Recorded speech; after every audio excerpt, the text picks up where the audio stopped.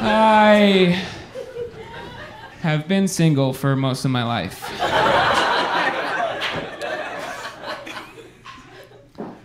Um, not by choice. I, uh, okay, so I don't have a lot, I don't have a lot of money.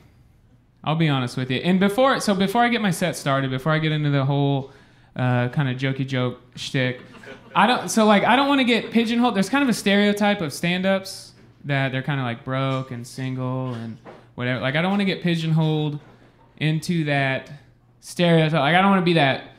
Oh, I'm a stinking sad sack, broke, mm-hmm. lonely, single, drug addicted, noodle brain, no neck muscle dummy, spaghetti head stand up comedian with this big old dick.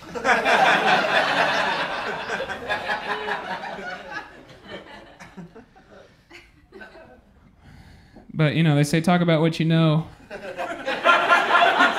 I'm broke.